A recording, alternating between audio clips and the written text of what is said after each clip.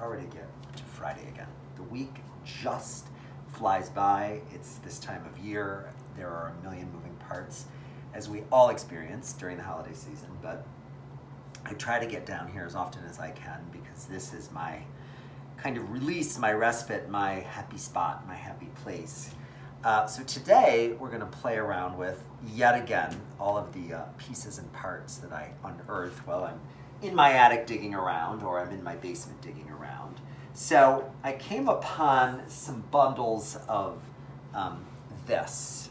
This is upholstery, upholsterer's webbing. This is what you would web onto a frame before cushions would be made or springs would be put in. And I'm not exactly sure how I came upon um, these bolts of it. I'm looking around, I have a whole bunch of them spooled up. I don't know where I put them. Nonetheless, I thought, well, what can I do with this? I certainly love the kind of natural burlap feeling that it is, and I love the little bit of red ticking that you're seeing in there. So I thought, could I make a little holiday banner? And that's what I've decided to do. So just hang with me here, and I'm gonna walk you through this quick and easy, super cute holiday decoration, or really a great gift. This is a super easy uh, craft to do. So with the very uh, webbing, I'm going to measure out a length of this. Get myself together here. Uh, I'm going to say nine and a half inches. So we're going to cut this right there, straight across. Like so. And then on this, we're going to create our banner. It'll be in a horizontal, it'll be in a, a vertical uh, orientation. These are uh, dowels, wood dowels. Uh, these particular ones happen to be off of uh, the old flags that I would put in the yard for the 4th of July. I have a bunch of those in the garage, so I went through and the ones that were tattered, I took the sticks and thought I'm not going to waste that. I'm actually going to make a little banner like this. I'm hot glue that. And then I'll hot glue one at the bottom. But before I do that, I want to decorate this. And the way I'm going to decorate this, I'm going to use the rubber stamps that I speak highly of, an old tree stamp that I've had forever, and I've mixed up some green paint. And I'm going to take this. I don't know if you're familiar with the rubber stamps or if you've ever used the rubber stamps. If you do, it doesn't really work so much to stamp the stamp in the paint and then onto your, your uh, finished product. It becomes too, too painted, too drippy and goopy. So I normally will mix up my paint, my colors here, and I'll brush it onto the sponge or the stamp, and then I will do my stamping. Now, I'm going heavy on the tree part, as you can see, with the green, but I'm going very faint on the trunk because I just want a shadow of the trunk because I'm going to go back. I'm actually going to highlight that in brown. So let's get our tree kind of oriented in the center of this banner of burlap. Give this a good pressing. You really have to press hard on this because of the texture of what we're printing on. If you don't give it a good hard push down, you will get a very sketchy uh, stamping or printing. So there we go. There is part one of our tree. Now to give this a little bit more depth and a little bit more interest, I'm going to take uh, my little cardboards, where I talk about using my little cardboard paddles. I'm going to dip this in one shade of green, and I'm just going to lightly edge this tree so it feels like little branches are coming down. And I'm only going to do this color on the one side, almost as if it's the shadowed side or the darker side of this tree. Like that. Whenever you do this with the cardboard, I will tell you the trick is to make sure that the cardboard that you're using really fits within the actual image. If it's too big, you go outside the lines, you know what kind of anxiety that causes many. I am one of those. Um, now I'm going to take another shade of green. This is a little more grassy green or summery green, springtime green. I'm going to mix that in as well because I just want everything spinning off the original color that we printed with. And sometimes I'll even go onto this brush because I can get a little better paint saturation. And then I'm going to take this lighter color and I'm just going to edge this side a little bit, giving this just the slightest additional details. Because it's all those little things I think that make this, make these little crafts special. Okay, so there's our tree. I'm to play around a little bit even with this. Just, just a little bit. And again, like I always say to you, this is not, this is so not brain surgery. This, everything that I do in this studio, everything is joyful. It's fun. It's as it should be. That's why we have hobbies. That's why we have crafts. That's why we have passions. Because if it's not fun, to quote my dear friend Jen Moorhead, if it's not fun, we're not doing it. And I live by that. Thank you, Jen, for that beautiful slogan. Um, here I'm going to take, knowing that that was my trunk, I'm going to dip this in brown, and I am just going to create a little kind of random trunk right there. You could, if you want, you could put a little thin line. Let's play around. This is what I love. Let's just put a little, every once in a while, like a whisper of, is there a trunk underneath that tree coming through? Just like that. All right, so that's my tree pattern. Now, I'm going to take an artist brush. This is a little, little fine-edged brush and I'm going to shake up a little bit of white and I am going to snowcap this just like that. It does not have to be exacting. It's just a nod to if this was had a little snow covered boughs, what would it look like? It would look like that.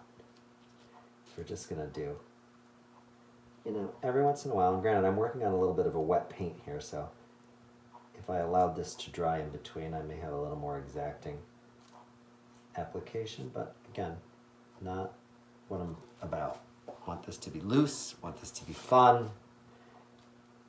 Let's add a little more over here, some here, just as the, the snow would hit the edges of the tree, like so, just like that. Okay, now, what I also think will be fun is let's put some flurries. So either with the back of this brush or my favorites, the skewers, the back of a skewer, like a barbecue skewer, I oftentimes will dip that and that'll give me little stamping. So let's just put some flurries around here, like so. Like that. And again, you just kind of, you know, you follow the rhythm. One can even be floating in front of the tree. What's the difference? Loving how cute that is. All right. I'm going to let this dry. When it dries, I will come back and I will put the dowels in. We'll go from there.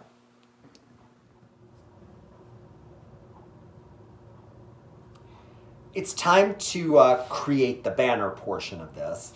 I did one together with a little uh, snowflakes, and I did one without. I'm not sure which one I like better, uh, nonetheless. So I've cut these little lengths. This is approximately five inches. And I'm gonna take this burlap, and I'm just gonna roll this over like this. And as you see, I've got like the same amount of dowel exposed on both sides. And then I'm gonna take our glue gun and we're just going to run a bead of glue like that.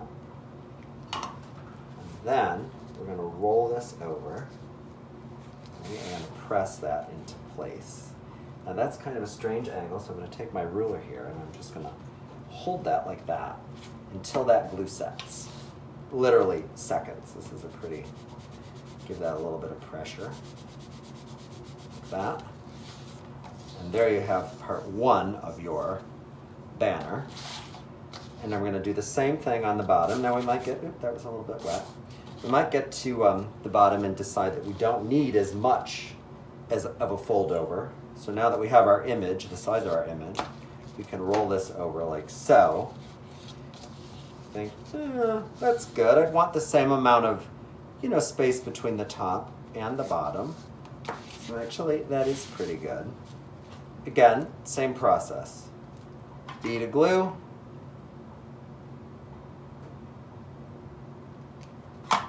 And then let's roll that over. Again, I'm going to take my ruler because my ruler is going to be able to really allow that pressure to get in there. That's a little tricky with your hands because of the dowel. And there you go. And there it is, banner number one. When we come back, I'll show you how I'm going to put a little tie on here, how this will hang, what other little elements I might want to add to it. But um, so quick, so easy, and so fun. I'm back to the final stages of this, and here's our little banner with the doll on the top and the bottom. And the question is, how should we hang this? Should we hang it with red ribbon? Should we hang it with twine? Should we hang it with variegated yarn? Not so bad, that's a good, good color combination. So I'm gonna play around with that a little bit, and when I return, I will... I think I like the idea of the ribbon best. So the way I'm gonna do this, rather than tie it off, I'm actually gonna loop this like that. And with a dot of hot glue, just like that, I am going to adhere that ribbon to the front and back. And if you ever get a little hot glue like runners or whatever, at the very end when it's dry, that is so easy to, to manage. Now for this to hang like over a nail or over a door, you want to put a little twist in this ribbon. So I'm going to twist it as I come around this other side. Because what I want in the end is I want the glued portion to always be on the back side of this. So here's my ribbon coming up. I'm to bring this down like that. You see how this literally has a, this is almost like has a fold in it? That is going to be to our benefit when this hangs on a nail. It won't make a funny pucker. All right, I think that's a good, that's a good length. Let's give that a snip. And let's do a dot of glue. And then let's roll that over and give that, ooh, give that a little sticky. Again, if you need to get in there tighter, keep a ruler or a, some kind of flat edge that'll help that adhere. Got a little smushy. I think we're good. All right, there you go. Let's give that a little turn.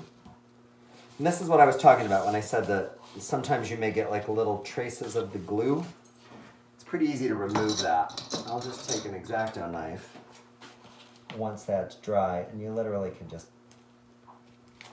cut that right off. It's not really a big deal at all. Get that so you got a little edge, a little resistance. There you go. You know, sometimes I gotta go in and tweak and fiddle with. But there is our little banner. And I think I'm gonna put some red dots on this. This is fabric paint. Give this a good shake. And sometimes it drips a little bit on the end, so clear it off. And literally, I'm just gonna dot little ornaments on my tree. So cute, so easy, so quick. That looks so sweet. I'm going to put some twine on this one, and I will show you when that is complete. Well, it's a wrap, gang. On the little snowflake tree, or flurry tree, I put a little yarn holder. And on the other tree, I just put, as you know, the little red adornment, and I put a little red hanger. Two super cute, super easy gifts, super easy decorations. Again, if you have stuff in your house, think about it. Be creative with it. What can you turn into something fun? Thank you always. Uh, I have to run upstairs and get myself ready for a Zoom Christmas party that I'm hosting here in the house. I wish you all a lovely evening and a lovely start to the weekend. And I do have some other fun things in store for us. So I'm gonna really try to I'm gonna really try to crank them out this week. I want to get as many as many uh, ornaments and decorations in as possible before the punchline. Have a great night.